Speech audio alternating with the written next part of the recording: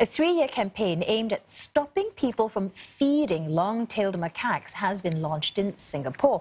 And it's also that these monkeys won't enter homes near forested areas to look for food and to keep both human and primate safe. Nisha Rahim tells us more.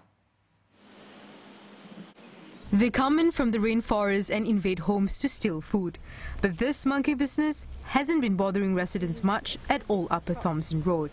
I think most of the people have understood that uh, feeding monkey is not good for them. In residents, I don't think anybody feeds the monkeys. I think it's more people who are driving past over here and then they see it and then they want to feed. And the National Parks Board says cases of people feeding monkeys have fallen from over 103 years ago to fewer than 30 so far this year.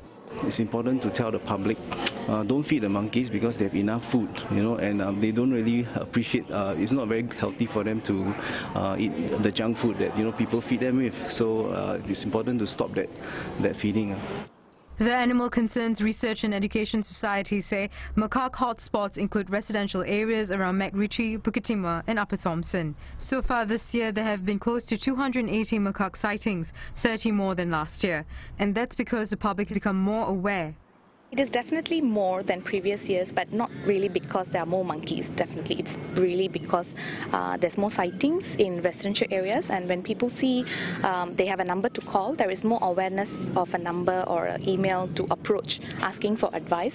And we have also seen that many of them are sightings where uh, public do understand when we educate and engage them, visit and talk to them and find out the root cause and tell them why are these monkeys sighted and what can be done in order to prevent any uh, conflict situations. To boost such efforts, a new three-year campaign was launched to teach more people about monkey behavior in hopes that fewer will feed these animals. It will include nature walks, talks and teaching safe methods to shoo monkeys away. It's launched by the Jane Goodall Institute of Singapore and a volunteer working group. Second Minister for National Development Desmond Lee announced this at a wildlife conference.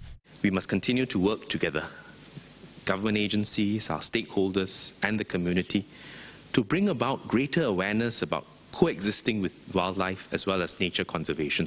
He also announced a three-year study to look at the behavior, movement, diet and health of the long-tailed macaques and other monkeys.